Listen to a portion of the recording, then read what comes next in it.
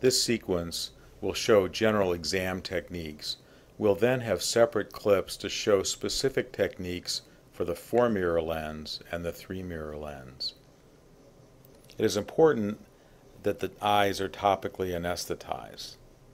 It's also important that the patient's head is set up in a way that allows the exam to be performed as easily as possible.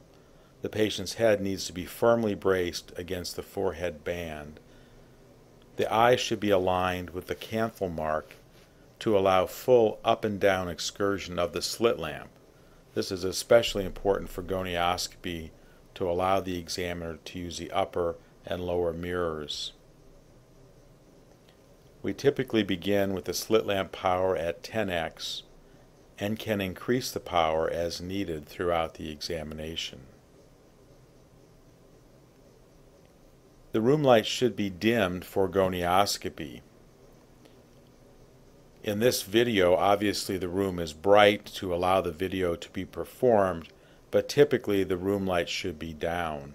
Similarly, the slit beam should be short so that it does not shine into and constrict the pupil, artificially opening the iridocorneal angle.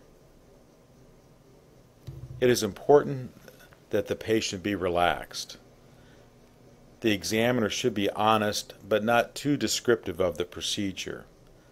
I usually say that this lens will come close to your eye but will not hurt your eye, and you will feel it touch your eyelashes.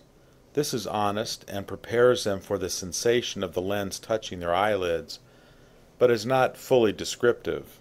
Saying something like this sharp piece of glass will be lying against your eye is only going to make the patient anxious and is not beneficial.